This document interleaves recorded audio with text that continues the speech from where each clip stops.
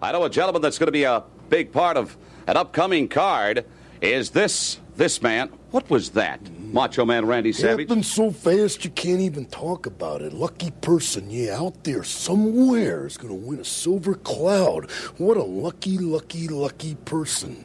And Tito Santana, if you go to the Intercontinental Heavyweight Championship bout with the Macho Man Randy Savage and escape with your life and still lose your belt, you are a lucky, lucky, lucky Tito. Yeah, that's what they're going to be calling you. Because comparatively speaking to the Macho Man Randy Savage, you are nothing but garbage. Yeah, nothing but garbage, Guyana. And I'm talking inevitable, and I'm talking you can't hold that belt with me climbing through the ropes. Gene Okerlund right here is a crying towel.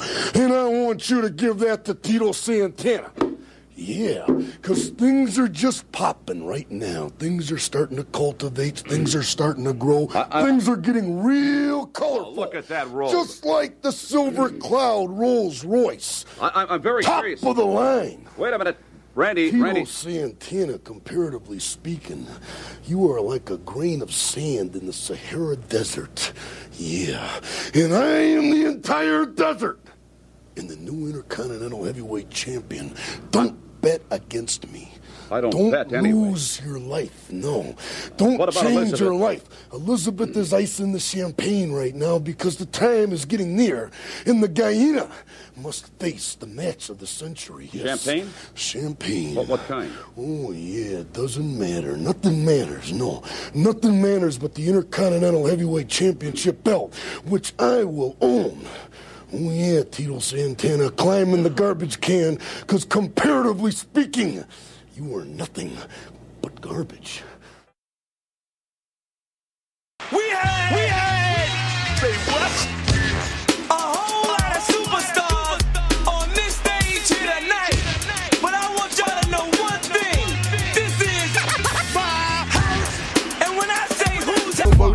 Skills and vocabulary too. Cover hits in the disc edition is all brand new. You're through. I'm interplanetary and like Doctor Who. So who? Fuck your beef, no relief. I step on stage, girls scream like I'm Keith. Well, we missed y'all last week, so I had to make sure I get this show in this week. Uh, Ringtime Pro Wrestling is at it again. Uh, Keith is riding solo this morning. Uh, it is after the WWE draft.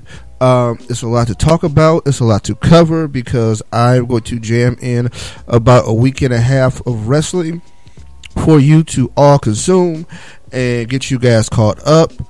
Uh, this is a very busy time in the wrestling calendar, apparently. Uh, you got the Cruiserweight tournament has kicked off. Uh, New Japan G1 Climax has kicked off. Uh, the Super J tournament is going down. Uh, SmackDown Live premiered last night. So we got Battleground coming up Sunday. It is a great time to be a wrestler fan. Now, the problem is, how many hours of wrestling can you watch? Because, man, you only got a week to get it all in, and you still got to go to work. There's still other television to watch. What are you going to do? I don't know. So, without further ado, let me get into what's been going down, get you guys caught up. Uh, I'm gonna bring it back. I'm gonna dial back to the calendar to last week, and basically we're gonna start from the Cruiserweight Classic. Um, basically what the WWE did is they broke down the opening round. So, um, we get four matches from the first round, not really in order, even in the order. I mean, order they were recorded. Uh, we're gonna pull four matches on Wednesday, and we're gonna watch those. And I think that's how we're gonna stretch it out throughout the rest of the tournament. Um, I thought they did a good job showcasing the first few matches to get you warmed up for the tournament. Um, the Gran Metalik versus Alejandro Saez, big showcase for Metallic, man. Big showcase. I, for one, wasn't really familiar with him. I knew he wrestled in uh, Mexico. I knew he probably wrestled in CMLL. Hey, what a showcase! That dude has moves for days. Um, same thing with Ho Ho Lun. He took on Davari. Um, hey, I didn't know the Chinese wrestling scene was so in its infancy. and they are really trying to grow it. And there wasn't a lot of Chinese promotions to begin with, and like that's one of the things that they're kicking off. And WWE, of course, with their Asian expansion and trying to move big. I mean, you gotta think about it. They just signed a guy to a developmental deal in NXT. They have the Japanese contingent in NXT already. When you got Nakamura, you got Itami, you got Asuka. I, I mean, these guys are really going hard to secure that Asian market, and I think they're doing a good job. They're going to be the number one American company in Asia, which is wide open right now, right? Because I'm going to say the number one American company because I always feel like New Japan is going to be the number one company over there, simply because they run so many shows, they have so much content, and they're homegrown, right? People always are going to go with their homegrown thing, and those talents over there are people that were born there mostly, so you're going to naturally gravitate. Um, I thought HoHo Lun match was very good against Davari. Uh, the Cedric Alexander match, gutsy win for Cedric Alexander. Um, he left ROH for the purpose of being in this tournament. Uh, I think this guy's going to have a big future in the WWE. Uh, and understand that word on the street, just to let you know, the cruiserweights will be exclusive to Raw. So that's going to be a huge platform for a lot of these guys. This tournament is basically to introduce you to them, and it's not really. I wouldn't peg too much on winners and losers. Just who gets the shine in the tournament, even though the winners and losers are very important. Okay, um, Cedric Alexander is a guy I think they're banking on to have a big future. Uh, same thing with Metalik. Ho Ho Lun, I we'll see. Um, Davari is back because they need experience and they need guys they trust. So, you know, a lot of companies do this. Um, you see it in all kinds of sports. Hey, man, people are very good with folks that they know. They got their number in the phone. They know these guys will work. So they called up Davari. Um, Cedric Alexander, I'm sure they watched a lot of ROH. And I think they feel really good taking a guy from ROH right now, just because that relationship isn't what it used to be. So good with that. Um, match of the night: Kota Ibushi versus Sean Maluta. Um, is probably one of the favorites to win this tournament. Up there with Zack Sabre. Um, and I would say maybe Metalik is up in that mix. But Ibushi, man. Him and Maluta having a match together in the first round, I wasn't really sure about. Um, Maluta, they did a good job telling his story. He is a part of the Samoan dynasty. He is um, nephew. So, of course, that puts him in line with Roman Reigns, the Usos, and you know that great legacy of Afa Sika and the great Chief Peter Maivia, and I mean, like you go down the line, right? The Rock, um, hell, Nia Jax is in that mix now. Tamina is part of that mix. I mean, we could keep going through it. Uh, I thought it was a great showcase for Maluta. Um, at first, I kind of would liked him to have a different draw, but once again, in wrestling, sometimes it's not about winning and losing it's about the showcase, and I thought the showcase was great for Maluta. Uh, doesn't disappoint, and he pulls out the win, but you are in doubt. You are like, whoa, could this be the biggest upset of the tournament in the very first round? And I think they wanted that tension in the first round, like especially on the first show, because you got to come back, and you can't have a bunch of matches that are foregone foregone conclusions especially in a 32 man tournament.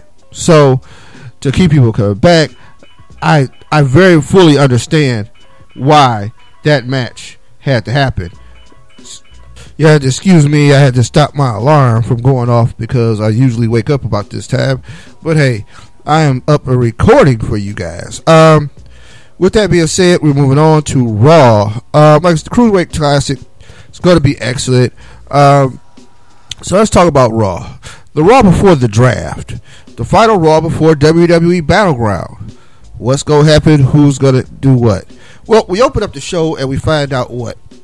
See, Stephanie and Shane are the commissioners, but they're not the general managers, and apparently they need general managers to run their shows.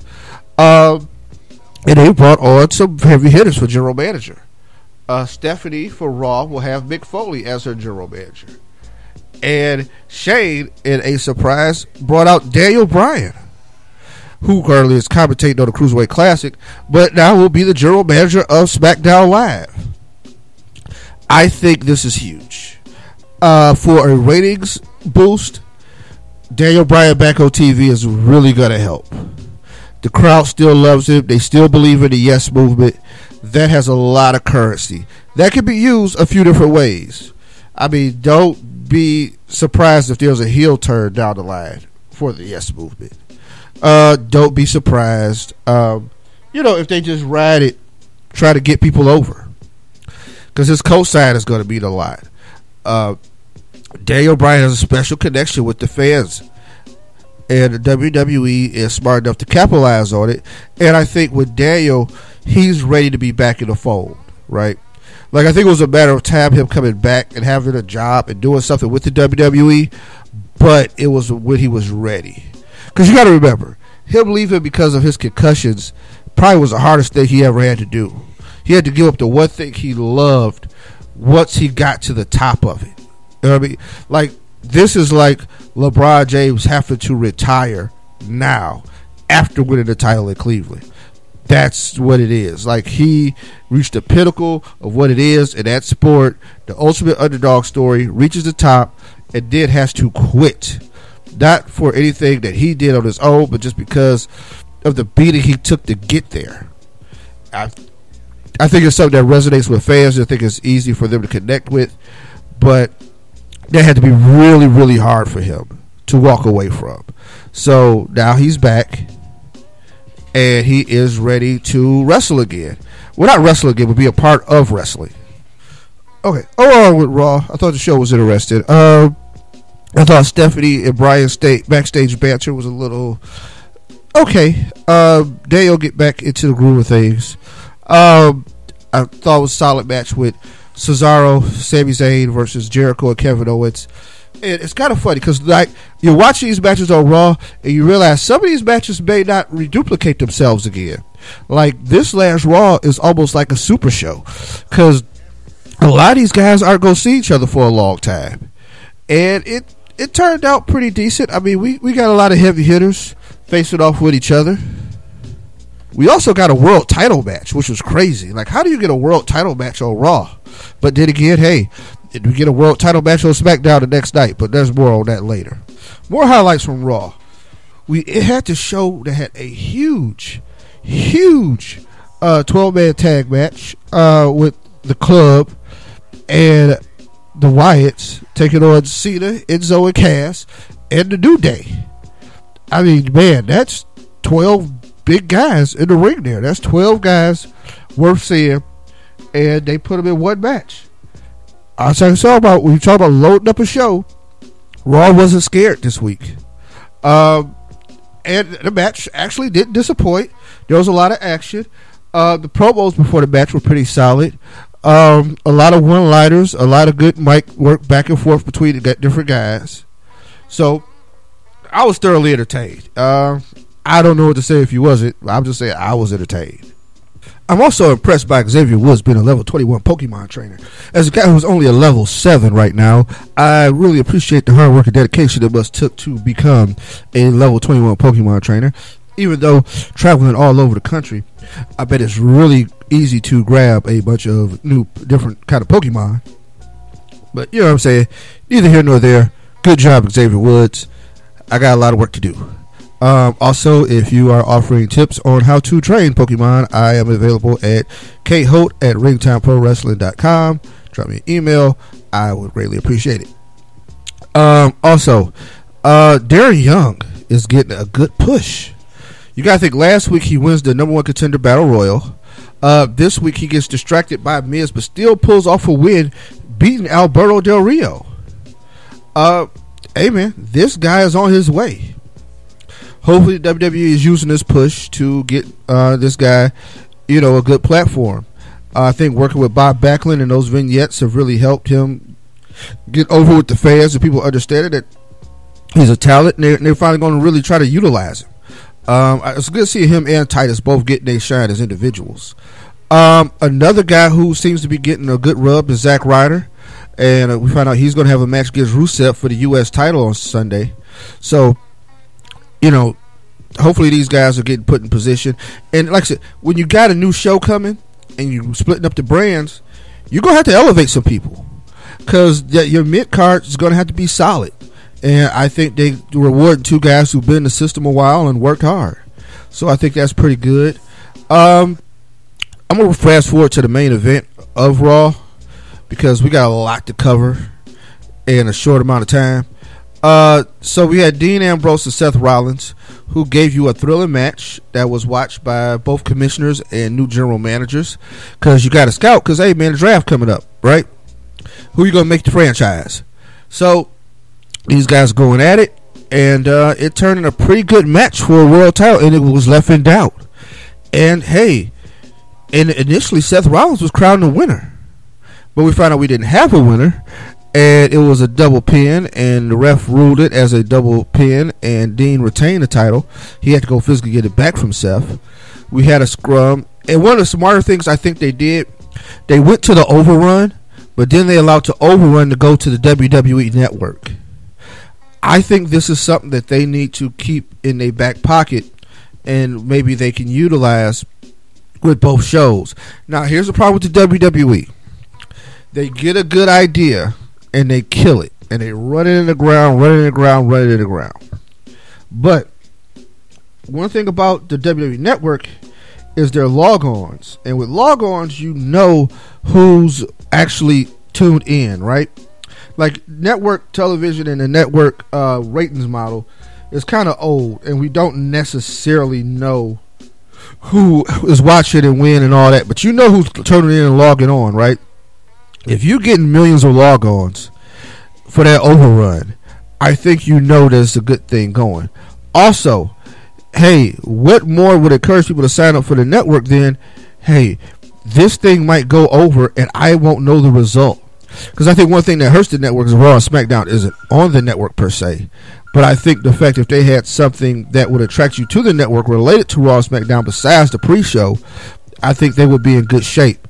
All right, usually this is where we take our break, but we're gonna do a little bit different today because, like I said, we got a lot going on. Uh, birthday segment.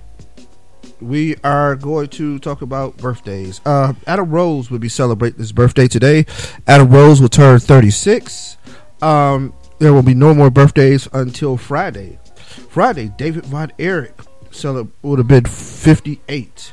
Uh, Shawn Michaels celebrates his birthday. He will turn 51. HBK, wow. Fandango on Friday. All three of these birthdays are on Friday, the 22nd, mind you.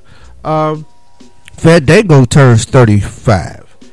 Um, yeah. Oh, I'm sorry. And uh, that uh, Adam Rose would have been was, turning 37, but Fandango was going to turn 35. Um, Sunday on the pay per view day, uh, Torrie Wilson celebrates her birthday. You realize Torrie Wilson's going to be 41? Wow, didn't know that.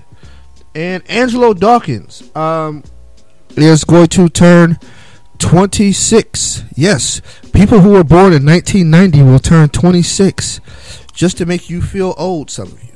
Because some of y'all graduated in 1990. Uh, so let's get on to the news. So I got like two weeks of news and notes, and that is crazy. Um, but let's go over the big stuff. Uh, John Cena hosted the S- at ESPYS last week. Um, did a really good job. I thought his monologue was pretty solid, and he represented the company really well. And WWE was winning. So last week on Wednesday, they had the Cruiserweight Classic, they had NXT show, and they had John Cena hosted the ESPYS. So if you wasn't watching one thing, you was watching the other, right? Uh, also at the ESPYS, Big Show ran into Shaq and challenged him to a WrestleMania match. Now, this is something they've teased for years and years. But Shaq is good and retired from the NBA. Uh, he's still young enough. Uh, show, you know, getting towards the end of his career, and I think this needs to happen. Even though I think Show should win. And the reason I say Show, Show always comes out on the bad end of these celebrity matches and these kind of things. Remember, he lost to Floyd Mayweather. Now it was due to the help of 16 bodyguards, but still, he lost the match to Floyd Mayweather. And I just don't think that was cool. But I get it, right? But this one against Shaq would be interested. Uh, Shaq next to Big Show, like I realize how big Big Show is, and then it really makes me appreciate how huge Shaq is, man. Wow. Um, I'm not sure what kind of ring shape Shaq could get into, or you know, how you know, it'd be a gimmick match, and it won't be like a five star classic, but hey, man, it'd be an attraction worth seeing. So yeah, I'm I'm down for this. Um, Moose joins TNA and attacks Bobby Lashley when he comes in. Now, for you guys unfamiliar with Moose, he is a up and coming star that was in Ring of Honor. Um, former NFL football player, played for the Atlanta Falcons. Uh, I think this is a big coup for TNA. This is a young up and coming talent that a lot of people had their eyes on. I'm sure the WWE had their eyes on him. I mean, just size alone, he's he's a WWE size fit. But TNA got him, and TNA locked some guys under that under good under good deals, and uh, I think this is a good time for them to maximize some new blood and go in a new direction for the company. Um, also in the news last week, the WWE has been estimated worth 3.4 billion dollars based on a the recent sale of the UFC. Because if you understand, the UFC sold for four billion dollars. Now, people kind of see them as similar, but there are some very differences in their models. Right? The UFC still uses the traditional pay per view model. And I mean, most of their content is pay per view, even though they do have contacts, contracts with Fox Sports, and they do work with ESPN a lot, and they do do a lot of shows, you know, on network television because Fox Sports One and Fox do broadcast uh, UFC cards. But I don't know what their TV contracts are like with Fox. WWE is primarily a television business nowadays. Their big deal is their contracts with NBC Universal. But the WWE network is a very good burgeoning member of income now. Because you got to think, being over 1 million subscribers, $10 of subscription, you do the simple math, that's $10 million a month in revenue, right? And that has nothing to do with you selling out arenas for Raw, selling out arenas for SmackDown, selling out arenas for your pay per views, right? So that's other revenue coming in. Like I, I can see how that model works. And I mean, when you're dealing with a lot of human capital, um, the, the main thing you have to do is pay the wrestlers. Even though the WWE production values are very costly, but I think they still clear a good amount of cash. And that's one thing about them; they're a heavy cash business too, so they have a lot of money in the bank. So yeah, I can see how that valuation goes up, and with their international expansion, their stock price right now is kind of undervalued. Like it, it may shoot up to almost forty dollars a share sooner than later, just because based on what happened with the UFC. Now WWE is a publicly traded entity, but I think people seeing that UFC sell for four billion have another view of the WWE and probably are looking at it as a more serious business. It only takes one person to legitimize things, and with that company buying the UFC for four billion, they're saying, "Hey, you should get in this type of business." So, good for them. Um, this week's news. Hey, man. 1980s wrestlers out here suing the WWE over concussion issues. Um, they will have a hard time getting that money. Now, who are your favorite wrestlers on this list?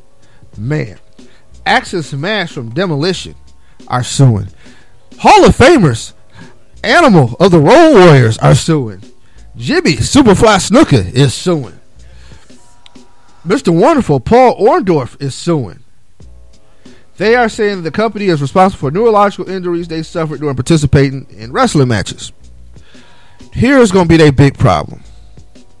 a lot of people like to go after the WWE for this kind of thing, and this is where the NFL, would I think would be smart, making their case too in the situation.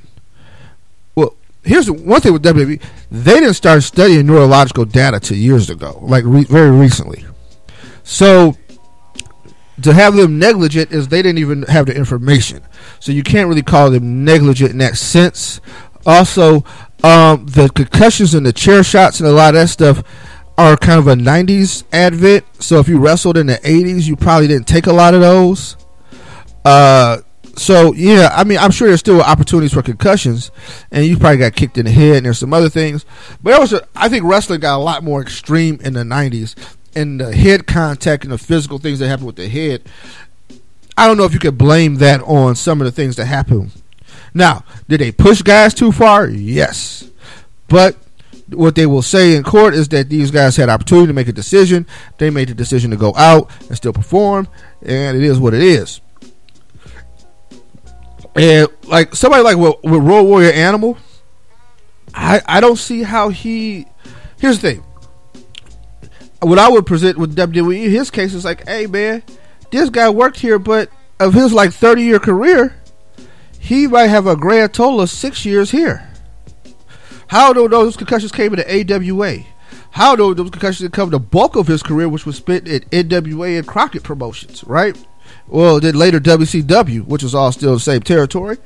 Um, hell, they worked in Mid South. They worked everywhere. I don't know if those concussions came in Japan. I you can't take responsibility for all those concussions. Mr. Wonderful, same thing. Snuka, same thing. Territory star, who blew up in the WWE. I can't be responsible for that. So I, I think they're going to have a really hard time with this lawsuit. And it's amazing that some of these guys who probably have legends deals and getting checks from the WWE have jumped on this lawsuit. But these aren't the only names in the lawsuit. Like, I'm going to go down some names that are on this lawsuit. James Sugar Bear Harris Kamala is on the lawsuit. Chavo Guerrero Jr. and Sr. are both on the lawsuit. So don't expect Chavo to be in the WWE anytime soon. Both the Hebner brothers, the referees are suing. And they sue like they sue it based on that the WWE had knowledge of CTE and that they concealed it. Like I said, I uh, I mean I would put it past them, but it's hard to admit that they do. I mean the NFL didn't really get a lot till Dr. Omalu, who discovered it, picked up uh, Mike Webster's brain. So I mean, how long did WWE have it? How you gotta think about like when did the Whiskey Institute start? Like that had to be in the mid two thousands, like right. So that's when you know, you know the whiskey started going to his thing. So that's about 2006, maybe 2005. So that's one of those things. I mean, now don't get me wrong. I think these wrestlers may have had some serious concussion issues. The thing is, like I said, the WWE taking the whole blame. Uh, strongman Ken Patera is in this mix with this lawsuit. Um, Jumping Jim Brunzell is in the lawsuit. I'm still can't get over the Hebners. The referees? The referees is in the lawsuit? Hey, maybe they suing because of that plastic surgery the Million Dollar Man had them get. Butch Reed is in the lawsuit. Um, Jazz is in a lawsuit. Uh, the Godwins. Muhammad Hassan is in a lawsuit. How long did Muhammad Hassan wrestle in WWE? A year? Uh, Shane Douglas in the lawsuit. Same thing. I don't think Shane Douglas did a lot of time in the WWE. Um, the representatives for uh, Axl Rotten's family and his estate. Uh, just like with uh, Snuka, his is his been his representative is his wife. Um, I mean it's it's a pretty detailed thing too. Marty Jannetty is in on the lawsuit. Now I know he's had bad things to say about the WWE and Triple H and Stephanie, and they tried. You know, he's he's been pretty out there. Um, Shawn Michaels probably don't return his phone calls no more. I mean, shit. Oof. Damn, Jannetty. But let's see. Jesse Barr is on the lawsuit. Slick is on the lawsuit. Slick. He got a concussion managing people. How Slick get on a lawsuit? The one man gang is on a lawsuit. This is crazy. Or is he representing the one man gang as his manager in a lawsuit? I don't know. Tracy Smothers is in on the lawsuit. The warlord and the barbarian are in on the lawsuit. This is a, this is kind of crazy. Um, I put a link on Ringtime Pro Wrestling Facebook page to like the actual lawsuit, the official lawsuit documents. It's a PDF. It's like 214 pages. I can't read it all, but I put it up there for you guys to have if you want to check it out. Uh, I think it did also the Ringtime Pro Wrestling Twitter account. But yeah, this is gonna be crazy, and I guess some law firm that got these guys gassed up. Like I think that's what happened with the NFL. I think there's some lawyers who got these guys got in their ear, they taking their money, and they gonna go in here and try to fight Vince McMahon, a billionaire, right? Well, a lot of you guys probably got a few hundred grand left in the bank. I don't know how long this gonna last. I mean, that's a few of y'all. Few of y'all still doing indie shows, taking chair shots, and for twenty dollars because y'all done ran through a lot of y'all wrestler money. So we'll see how that ends. I really wouldn't want no parts of this lawsuit. Um, Sin Cara and Simon Gotch are rumored to have a backstage fight at SmackDown Live. Ooh. Uh, don't really know how it happened, but it said went down at catering. Uh, I can't stand the Vaudevillians, so I really don't know. Hey, Sin Cara, not to do to mess with. This is not the original Sin Cara. This is Hunico, who, hey, last I heard, he gave them things to Sheamus with somebody came when he came around with that disrespect. Not dude you want to mess with. Um, if you have been under a rock, Brock Lesnar had tested positive for a banned substance in his uh, UFC match against prior to his UFC match against Mark Hunt. Well, USADA did a second test. They ran a second sample because, hey, when you run the first one, you got to do a second. And that one came back dirty, too. So, uh, it's a real particular thing. WWE reported on their website when it happened. Like, they didn't run away from it. But it's kind of like, ooh. Did you just suspend Roman Reigns for taking a banned substance? Now you got Brock Lesnar who tests positive. Ooh, y'all gonna be in a sticky situation. Now, um, the New York State Athletic Commission actually weighs in on Brock's status for SummerSlam because technically they probably don't want him competing at SummerSlam. Uh, he was pulled. He was supposed to be at SmackDown Live, but uh, they pulled him off that show. So, hey man, this is gonna be kind of interesting because, like I said, uh, this is a second positive test. So, what do they do for the Randy Orton match at SummerSlam? Um, ugh, that's tight. Like I said, as a company, you can't have him out there. First of all, this invalidates his UFC win, which sucks because Brock looked great, man. And I was talking about how good he looked, but huh, now I see why he looked so good.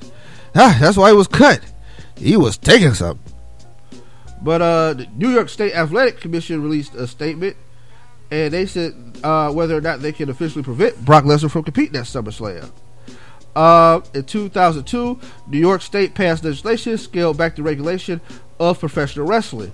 In many respects, based on the recognition that the activity is entertainment rather than a bona fide athletic competition. Under current New York State law, professional wrestling is defined as wrestling primarily for the purpose of providing entertainment to spectators, which is not compromise a bona fide athletic compet- contest or competitions. I quote, as such, the New York State does not license individual wrestlers, and Mr. Lesnar is not a license of the New York State Athletic Commission in context of professional wrestling as defined above. The state licenses only the promoter, such as the WWE, per New York State law. Among other health and safety requirements apply to licensing of the promoter, the event promoter is required to have a physician examine each wrestler and determine whether each wrestler is medically fit to participate. Uh, so the question is whether Mr. Lesnar is fit to participate as a professional wrestling event, and one will determine by the application of professional medical judgment of the examining physician. The policies of the WWE and the choices by Mr. Lesnar with regard to his own participation leading up to the event's date. So basically, New York State Athletic Commission is saying you can't use us as a scapegoat. This one is on you. Y'all got to be big boys and make your own decision. Ah. I have to keep Brock. I mean, I don't know. Maybe you let it go because WWE fans really don't care about steroids. I'm gonna say it, and a lot of y'all probably listening like, No, that's bull. I care about steroids. I want those guys to be healthy. Man, look, you can't sit there and watch this stuff over constant years and pretend that you really care or you think everybody clean. I ain't calling out no names. I'm just saying, uh, you know, WWE drug tests are random, and I'm pretty sure some people end up not getting randomly selected to pee in those cups. So, you know, with that being there, I said, WWE is in a pickle on this one. But uh, with that, we're gonna take our break. We'll come back. I'll recap the SmackDown. I'll go to the high points of the draft, and we will give you the official preview of WWE Battleground. All right, ladies and gentlemen, we got a taste of it a little earlier on here on Saturday night's main event when the madness met the mania. I am talking about Macho Madness and Hulkamania, two mega powers meeting here tonight. Hulk Hogan, what is happening? Well, you know, me Gene, we really don't know what we're dealing with here, man. And I'm just kind of a little worried about walking up here. It's all right. Because we just might blow the whole planet up, you know. Everybody knows that Hulkamania is the strongest force in this universe. But when I hit that ring and I saw what the madness was all about, I realized there was a whole nother universe out there, a whole nother frontier, and the power of the madness and the mania just blew my 24-inch guns out, You mean to tell me there is another solar system, Macho Man? Unbelievable. I'm still in a state of shock right now. In fact, I don't think I'm going to be coming down for a long period of time. Yeah, reckless abandon is what it used to be. Yeah. Elizabeth opened up her eyes to the big man yeah. He endorsed Macho Man and he gave me direction, Yeah. Direction now with the mega, yeah, the mega, yeah, the mega power, Yeah. Mega powers, yeah. I feel the power now. I feel the power right there. Yeah, in the hit over the head, Macho Man. No, no, man, I'm all right. It's, there's never been better, yeah. Don't you worry about the hit over the head, man. I'm just worried about where we're going from here. Is it this stratosphere, man? Is it the ionosphere with the madness and the mania as one guiding force? We could go ahead and take the whole I cannot believe this. No, man. And all that has happened here on Saturday night's main event, Omega Mega Powers, the Madness, Macho Man Randy Savage, and the heavyweight champion and Hulkamania.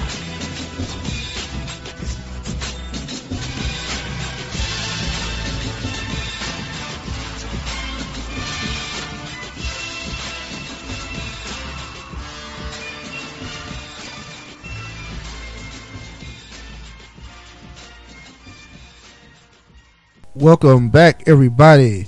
So let's get it rocking and rolling. Uh, we watched SmackDown live. We haven't had a live SmackDown in forever and a day. Uh, SmackDown will continue to be live from now on. It won't be just a special event because guess what? Those partners at USA said they want some first run Starfire programming, and the best way to get it is live because people ain't gonna want to miss it. And guess what? Wrestler Podcast, we got to step our game up because we're going to have to record. And guess what? It's a brand extension. You got two separate rosters going. So you know what that means? You got to watch SmackDown. Or as my friends at the WrestleCast say, SmackDown matters.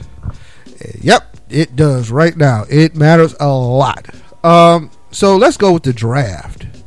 Well, that's part of what's going on. So let's kick off the, the draft, and then we'll go into the matches that happened also on SmackDown, right? So, with the first pick of the draft, because that's how we kicked off the show, uh, Raw took Seth Rollins. Gotta love Seth. Uh, very talented young man. And yes, if I was starting a company, that's the first pick I would take too. Uh, SmackDown with Dean Ambrose. So, this is it for them, right? Whatever happens at this match, that's it for them two they're going their separate ways. So it makes it very much more climactic Sunday that those two are going their separate ways. You almost wish for those to be a one-on-one match, especially considering the fact that these two had two really good matches this week. This could be the finality of it. Now, I'll go to how it all ends up, but yeah. So we got that. Uh, The third pick was Charlotte for Raw. Uh, SmackDown with AJ Styles, and uh, Raw went with the new blood. Mind you, this is the rules of the draft. There have been six picks from NXT. Raw takes the first one with Finn Balor. Raw gets three picks each round. SmackDown gets two. Reason being, Raw has three hours. SmackDown has two. So we're gonna go ahead and we're going with Finn Balor. Now with Finn on Raw and AJ on SmackDown, it kind of put the club in play because which way they're gonna go. Because now you're gonna pair them up with one of those guys, and those guys being on separate brands tell me that they're going to be you know separate entities. Um, Roman, so we go. That's the end of the first round. Um, we kind of get rocking and rolling. Uh, John Cena takes on Luke Gallows. Cena wins. Uh, both camps show up to the match. Uh, Enzo and Cass make up for that miscommunication that they had with Cena on Monday, and Cena gets the big win. Uh, we go into the second round of the draft. Raw kicks it off with Roman Reigns. Makes sense. Roman Reigns seems like a Raw guy. Now SmackDown follows up and picks John Cena. Very huge. And there's two things I know about these two picks. One, Roman and Seth are going to continue having an issue, right? I would almost bet this might mean Seth wins the title on Sunday. Roman and Seth are going to have an issue. Uh, Cena, this might be Cena scaling back. Cena going to SmackDown to me signifies that maybe Cena is taking a step back from the whole scene. You got to think he's been in like two movies in the last year. He's hosting the ESPYS. He hosted his own reality show. Like Cena is doing a lot outside the WWE, and he's not doing movies on WWE Network either. Like he's doing films with other people.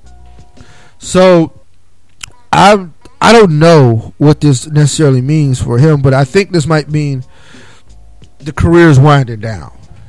Now, do I think he gets another title reign? Yes. Before it's all over, he goes. He gonna get one more last ride to glory. Uh, he's going to hit 16. Does he do 17? I don't know. Um, but I think he does hit 16. Unless they want to protect Flair's title reign. But Vince likes to do things WWE style, right? So if Vince can have one of his guys win the belt and then go 16, and it's a, his homegrown guy who's never wrestled anywhere else have the record, that could mean a lot to Vince. Um, mind you, Triple H, who all his world title reigns are WWE, is probably number three on the list with 14, right? Because we're going with recognized title reigns by Pro Wrestler Illustrated and all the other various wrestling media publications who deem what world titles are relevant in counting world championships. Now WWE cheated for a while with the brand extension because they had two world champions, but everybody still recognized those individual champions. So was scared. Cena Triple H both are up there. Um, like I said, who knew Triple H was gonna get uh, title reign fourteen? So it could be very possible that Cena does break the Flair record, or at least ties it. Um, Brock Lesnar is going to Raw, which is an interesting pick, but I get it because here's the thing: Raw still your flagship show. It's still your big money show. So when he comes back on his limited basis, he's coming back to the big money. He's going to be at Raw. Randy Orton goes to SmackDown. Kind of interested. What, what, I, what I got, what I gleaned from that too, is that this SmackDown decided to go with experience. Like if you look at the, the first three picks, it's Ambrose, Styles. Ambrose is the young gun of this. Cena, then Orton. Orton is the part of that 2002 class with Cena. So you got guys who are seasoned. Uh, Orton is a 12-time champion, and I think they'll be able to work with the younger talent. Uh, Raw with kind of more of a youth movement. Um, then we go. Well, I'll go. I'll come back at the next round. Um, we have uh, Zack Ryder and Darren Young. They defeat uh, the Miz and Rusev. Um, Zack and Darren are both on rolls, man. Those guys are on a roll. They are headed to the top. Well, I'm not gonna say headed to the top, but they are they are firmly positioned. One of them are gonna walk away with a title this week at the pay per view. Somebody is leaving with a title. I don't know if both of them will win, but somebody's gonna leave with a title at the pay per view. Um, Xavier Woods defeated Bray Wyatt. Uh, Wyatt gets a you know one on one matchup here. Uh, we find that Wyatt still has a little bit of mind control over Xavier Woods. Xavier Woods has a hard time snapping out of it, but uh, this match will be interesting on Sunday with between the two, two camps. Uh, Kevin Owens supposed to have a match. Sami Zayn interrupted, and uh, next thing you know, led Kane deciding he chokes slam everybody. And back to the draft, where hey, the New Day are picks for Raw. Well, you know what? The New Day was probably in the last round, so I, I messed that up. So the New Day is at Raw, so Raw will retain the tag team champions. Don't you dare be sour, because SmackDown is probably going to have a tag team tournament. Uh, Sami Zayn is a pick for Raw. Uh, SmackDown goes with Bray Wyatt, which the okay. So tag teams will be selected as a group, unless somebody wants just one individual. But they unless they, they want to break up the tag team. The Wyatts are selected as individuals. I'm not sure why this was done, but hey, that's what happened. Uh, Sasha Banks went to Raw. Becky Lynch goes to SmackDown, and Chris Jericho goes to Raw. Now Raw starts to pick up experience later now with a guy like Chris Jericho. Uh, Sasha Banks, I think, is star power. Uh, Bray Wyatt star power charisma to SmackDown, and I think SmackDown might be a great place for Bray. We finally can put Bray in a title picture here. Um, coming back on the uh, rest of the show, uh, Sasha Banks took, uh, takes on Brooke and Charlotte in a handicap match.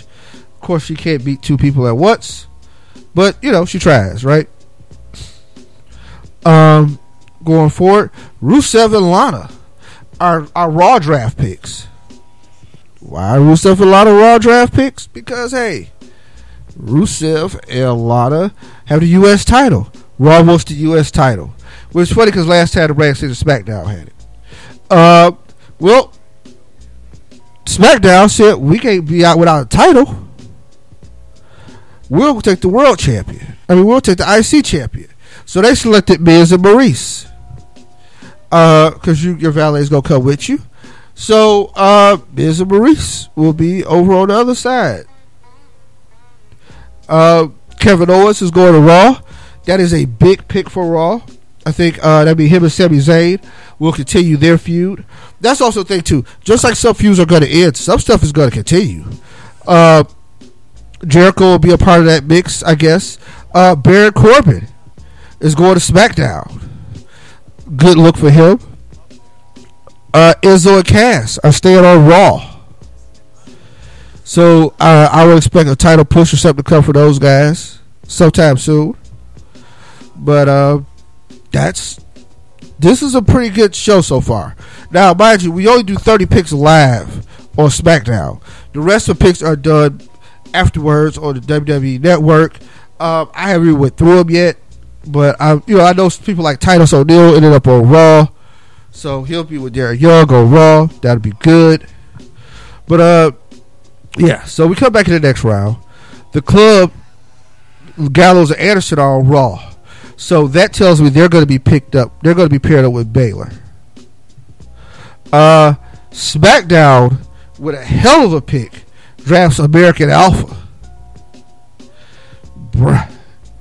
American Alpha having them as a team, I think would be very beneficial for SmackDown. New blood, new energy, and those guys are so talented. This is Shelton Benjamin, Charlie Haas 2.0, right?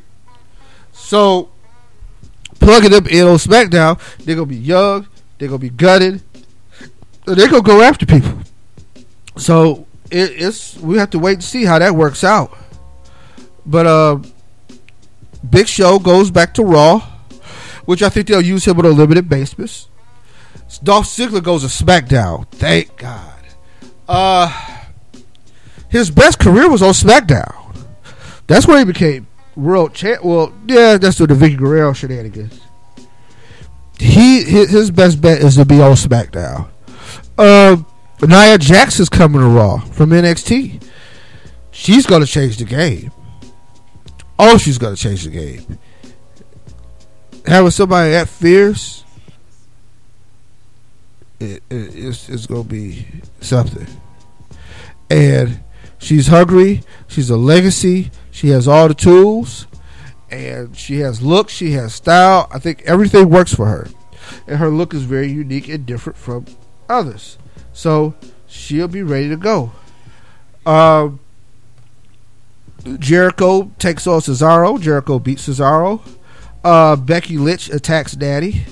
Uh, really, you know, that's all we got. Because Natty had a match with Alicia Fox, but Becky Lynch wanted payback. Then we get to the last part of the draft. Uh, Alberto, De- well, Neville is drafted by Raw. We haven't seen Neville in a while, so when he shows up on Raw, it'll be worth seeing. Natty goes to SmackDown, so she'll probably continue her, her issue with Becky Lynch. Cesaro will be at Raw. So expect some things from him and Jericho to continue. Alberto Del Rio goes to SmackDown. A great place for him. I think Alberto will get more appreciated on SmackDown. Uh, away from the light, a lot of people are to love it. Um, well, I would say. Um, and the last pick, Sheamus goes to Raw, which is kind of anticlimactic, but hey, somebody had to go somewhere, right? So we have a world title match at the end of the show. Uh, Dean Ambrose versus Seth Rollins, because we didn't get a clear winner Monday. And how does it work out? Dean beats Seth. Clean. It's over. He got it. He won that match. But Seth probably feels like he won Monday. And hey man, we gotta sell this Sunday at the pay per view. So let's get to the pay per view. WWE Battleground. Plant your flags, plant your flags. This is the fourth installation of the WWE Battleground pay per view. Uh, you started 2013 in Buffalo, where Randy Orton and Daniel Bryan fought for the vacant WWE title. Uh, we go to 2014, where uh, John Cena defends the WWE title in the Fatal Four Way against Randall, Randy Orton, Kane, and Roman Reigns. Now, remember, when Daniel and Randy fought the year before, it was just a WWE title because the belts weren't unified. 2014, we unified belts. Uh, Daniel Bryan finally overcomes at WrestleMania, but then gets injured. Wins the title at in the Bank, and then he faces uh, the four guys in the Fatal Four Way, and they all look good. But Cena comes out the winner. Then he goes to SummerSlam and gets killed by Brock. Brock carries that belt all the way to WrestleMania, where he loses it when Seth Rollins cashes in Money in the Bank. Fast forward to 2015, a few months after that, Rollins must defend his belt that he has against uh, Lesnar that he has ran away from. Uh, course, Rollins maintains that belt and holds on to it until he gets injured in a later part of the year. Then Roman messes around to get the belt, and then after Roman gets the belt, then uh, Ambrose uh, beats Roman for the belt. And of course, that's where we are now, where Dean Ambrose is taking on Roman Reigns and Seth Rollins in a triple threat match for the WWE title. Oh, I mentioned Dean Ambrose did cash your money in the bank to beat Roman Reigns. But neither here nor there is 2016, and we are ready for the battleground. Are you ready for the battleground? Um, pretty much, Kevin Owens and Sami Zayn will probably be the kickoff match. Well, I don't know if the kickoff match. They'll be the first match in actual pay per view. I don't think they make it to the kickoff show, right? So, uh, I'm going to go with Sami Zayn because everybody likes the underdog, and I think Sami Zayn has a good shot at winning this thing and beating Kevin Owens and then moving on, hopefully. But then again, who knows? This feud may continue for a while because people really like this match. It is one of the classic feuds that has crossed territories and has crossed over, and people have seen it in multiple promotions, and now it's being seen on the biggest stage possible. And I think people really dig that idea. So now I guess I need to go with a winner for this match. Uh, really, I'm gonna go with neither. I think Sami and Kevin fight to a draw, and uh, maybe it goes time limit. Maybe it's double count out. Maybe they have double pin. And I think their issue gets solved at WrestleMania. That's where we'll not WrestleMania. I'm sorry, SummerSlam. SummerSlam was probably the best idea for them to to finally finish their thing, right? So let's go there. Uh, Becky Lynch versus Natalya in a one-on-one match. One of two women's matches that night. Uh, Natalya and Becky have had some issues. Uh, they've been attacking each other. This is going to be a feud that spills over to SmackDown and possibly crowns the women's champion over there on that brand. Because I'm assuming Raw will have its own women's champion with Charlotte. I'm gonna go with um, I'm going with Natalya. I think the heel has to win. I think Becky Lynch has an uphill battle weight on her. Um, I think she's talented. I think she has all the, the tools where she should win. But I think this for this thing to go how it needs to go, I'm going to give it to Becky. I mean, I'm sorry, I'm going to give it to Natalya to figure out a way. like I said, she's a veteran. Things will happen in that ring where she will figure out a way to make it work for her.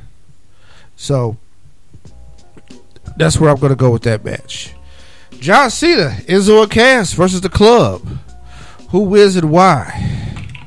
This one is easy. Um, the Club is breaking up, so they're not going to take a win when they're breaking up. Cena's going to SmackDown. Enzo and Cass are probably going to go to Raw, but they don't have a long term future together. They don't have anything that bonds them. So, for the purpose of this match, and because the WWE doesn't look at as well, somebody needs a win. I'm going to say Enzo, Cass, and Cena defeat the club. Then what happens after the match? Who knows? Maybe AJ messes up and they turn on AJ, but it, it- it's going to dissolve that night, right? Because the club is on Raw, AJ's on SmackDown. AJ and Cena probably will continue to still have their thing, but Gallows and Anderson will be moving on to other things. So the heels are not going to win with this being the last hurrah for those guys being together. So I'm going to go with, like I said, Cena and his team taking a win in this match. Now we move on to the Intercontinental Championship match. Um, Miz takes on Darren Young for the IC title. Uh, Darren's been getting a good push. He has uh, won, won a battle royal to be the number one contender. Uh, he got a pinfall widow Alberto Del Rio on the, uh, the next SmackDown. Uh, him and uh, Zack Ryder got a win as a tag team. I'm gonna go with Miz. Here's why. Um, just kind of like how Becky Lynch, people have to climb, people have to claw, people have to get revenge, right? Anyway, um, Miz will uh, eventually lose to Darren Young, I think. But right now, Darren Young has to achieve a little more. It'll be close. It'll be controversial. It might even come down to a dirty call, and they'll rematch it on Raw. But Miz will win. Miz will walk away with the belt. Uh, Rusev defends the United States title against Zack Ryder. I think the same thing. I think this is not big enough of an event for Zack Ryder to take that belt. I think Zack Ryder takes the U.S. title, but I think he takes it uh, at SummerSlam. I think he has a better chance of taking it at SummerSlam at least. Um, the Wyatt family will take on the New Day. Um, this what I will say the Wyatts. Uh, the Wyatts need a win. I think they need a win as a collection. Uh, the titles are not on the line, and well, you know, it depends on how the show was paced too, because um, I just gave you three straight heels winning, and it probably won't go exactly like that. There has to be somebody buffering in between. Yeah, but the Wyatts need a win. I think they've been getting used and abused, and I think they a win against the tag team champs would do them a lot good. Uh, Sasha Banks and uh, po- uh, partners to be announced will take on Charlotte and Dana Brooke. Now, this one, the good guys are gonna win. What I bank it on is that Sasha's surprise partner is Bayley, and they will take on Charlotte and Dana Brooke.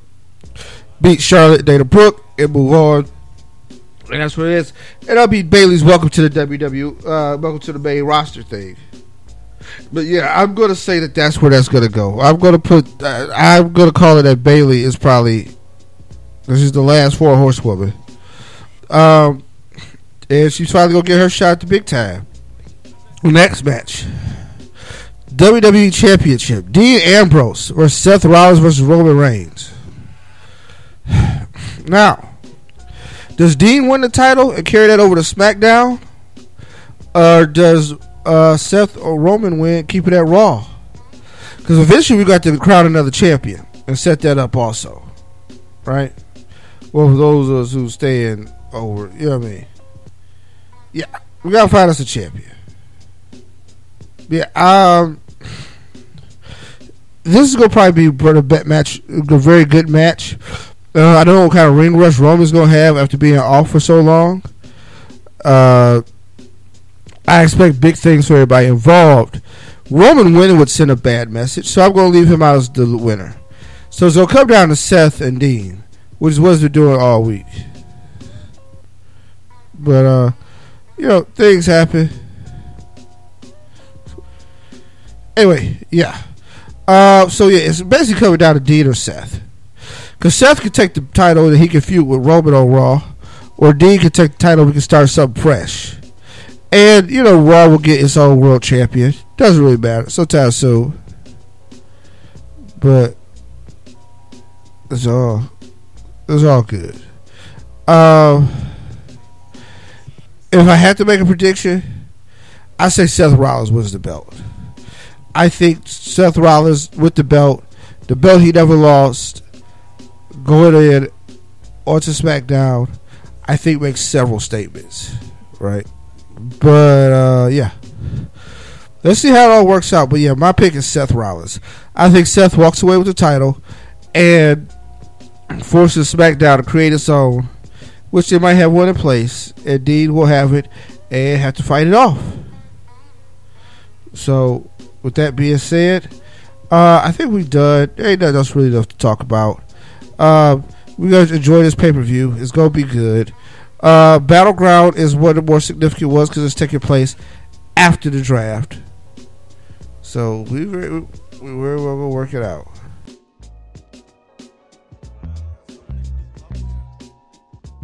Kevin Owens, this Sunday at Elimination Chamber, you will be facing John Cena uh, in what is being dubbed as a champion versus champion match. Uh, we've been able to see uh, what you've inflicted on Sami Zayn at NXT, uh, and you've claimed that that's not a personal matter, but now with John Cena, is this personal for you between you and John? You know what, Renee? I think it might be personal. And it actually hadn't occurred to me until you just said it. See, because I came here and did what I did to John a few weeks ago on Raw because he was taking credit for Sami Zayn's injury when, as I've explained many times, that injury is mine. I, I caused it. You were there, you remember, right? But now that you put it this way, there's something deeper to it. See, because ever since I, I've gotten here in WWE, I've realized that everybody lives in John Cena land. From from the higher ups to the decision makers to, to you know the, the crew that sets up the arena and everybody in between. John Cena this, John Cena that. Well, you know, where I came from, there was no John Cena actually, where I came from, I was John Cena. I'm the one people looked up to.